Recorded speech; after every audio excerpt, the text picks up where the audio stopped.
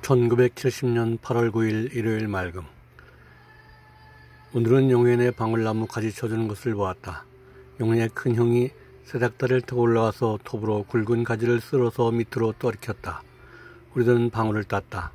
방울 중에는 두 개씩 달린 방울도 있어 그걸 따며 재미있게 놀다가 소를 띠끼러 갔다. 동생도 따라왔다. 동생이 나한테 목욕해도 안 잃는다고 말해서 나는 그럼 이 소를 띠끼고 있어 하고 말했더니 동생은 아무 말도 못했다.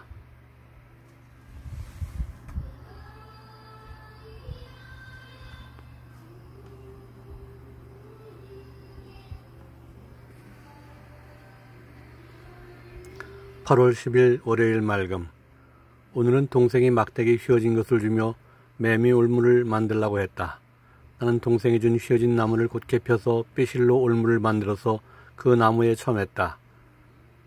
정순의 미루나무에서 매미가 울어서 매미 우는 것을 바라봐도 매미는 보이지 않고 다만 매미가 높은 곳에 있는 것 같아서 나는 발로다 미루나무를 한 대 찼더니 매미 두 마리가 떨어져서 우는 매미는 잡았는데 벙어리 매미는 그만 놓치고 말았다.